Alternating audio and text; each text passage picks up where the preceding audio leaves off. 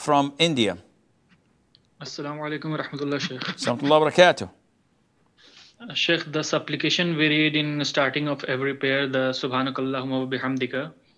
So in Taraweeh, is it to be recited in starting of every two rakahs or only once in the beginning? Okay, the, uh, dua ul-istiftah, the uh, inaugural dua supplication, is a highly recommended sunnah. And it's not only subhanakallah wa hamdik, tabarak ismuk ta'ala jaduk wa la ilaha ghayruk.